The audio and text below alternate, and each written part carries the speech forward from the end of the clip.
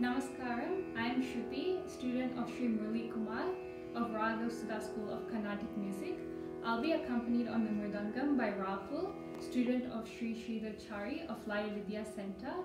Our sincere thanks to the Mysore Vasudevacharya concert organizers for giving us this opportunity.